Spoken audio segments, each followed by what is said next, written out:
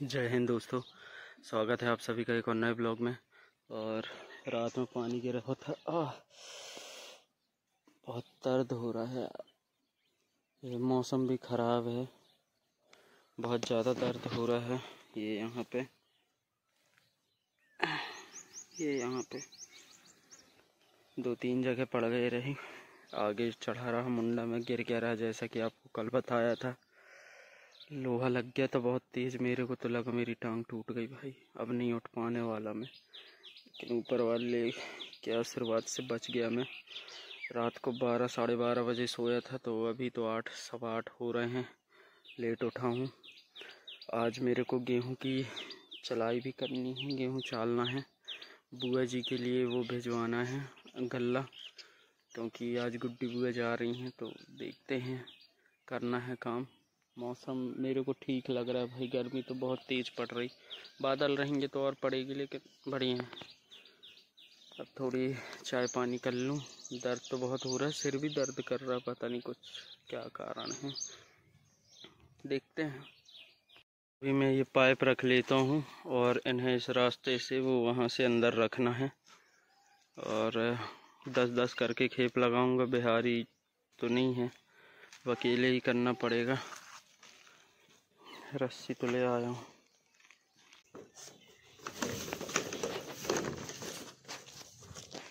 खींच दो। हाँ हाँ कुछ ना करो बंद है।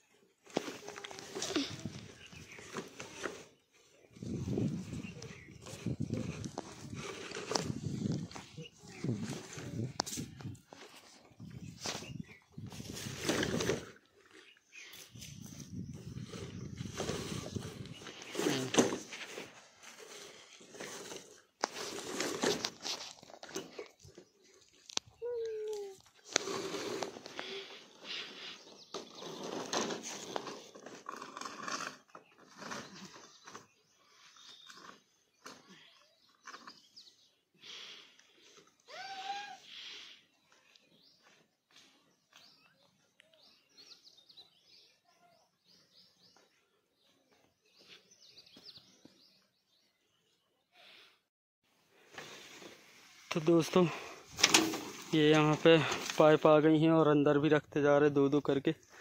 एक बज गए हैं, बहुत तेज़ गर्मी लग रही भाई, पाइप भी बहुत तेज़ गर्म हो गए। खाना पीना तो खा लिया हूँ, लगा हूँ काम में।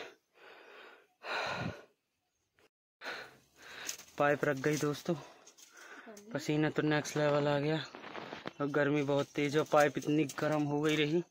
ऐसा लग रहा था कि भाई हाथ ही जल जाएँगे। बहुत बुरा हाल। यहीं रखना है इसके दरवाजे दरवाजे सब टूटे हैं। ये रखे हैं दरवाजे। चल रहा है जैसे तैसे काम, दीवार दीवारें आप देख ही रहे हो, घर के पिछला हिस्सा ये। और ये ऊपर की हालत देख लो। अभी गेहूँ भरना है, लगभग एक कुंटल बुआ जी के लिए। थोड़ी आराम कर लेंगे उसके बाद। पसीना तो बड़ा खतरनाक है। तो दोपहर का आराम हो गया है और अब बुआ जी के लिए वो कर लेता हूँ गेहूँ। दो कट्टी करना है। और अभी तो पाँच बज गए हैं। दोपहर में नींद आ गई थी। दो दो ढाई घंटे की नींद। और अब तो गर्मी में दिन बड़े हैं तो फिर क्या करें? दिन भर समझ नहीं आता। धूप काफ़ी तेज़ रहती है। बस अब भर लें।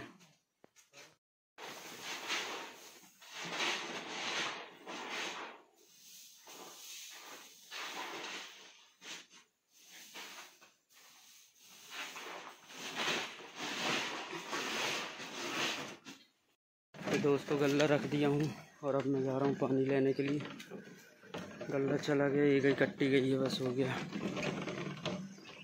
पानी तो भर गया अपना और साढ़े छः भी बज गए, शाम हो चुकी है। और अभी भैया एक जो हैं, उनसे मैं थोड़ी जानकारी ले रहा था कि कैसे क्या चलाना है।